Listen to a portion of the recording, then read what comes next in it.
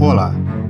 Hoje vocês irão conhecer a história de Nelson, um homem que superou uma grande dificuldade para enfim se casar com Suelen.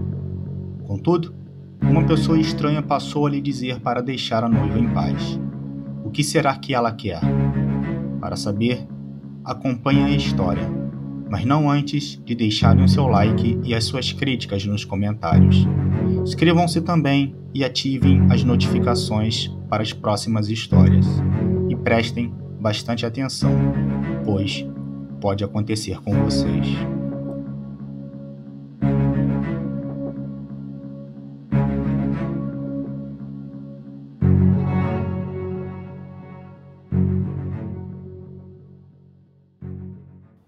Nelson enfim estava decidido.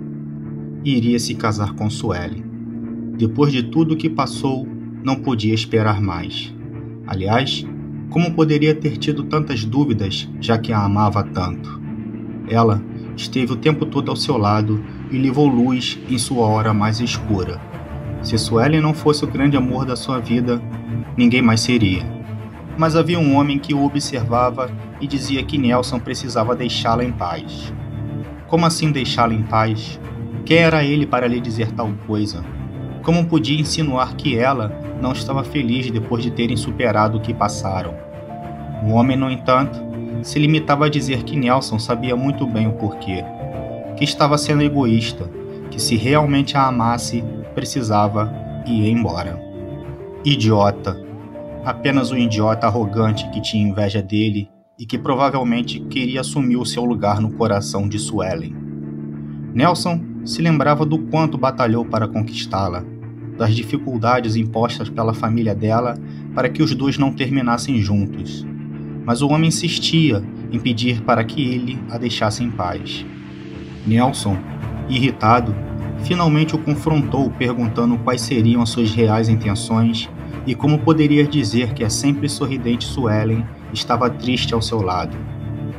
O homem respondeu que Nelson enxergava apenas o que queria enxergar, que o sorriso dela não existia. Pelo contrário, havia lágrimas, dor e uma infelicidade que era provocada por ele.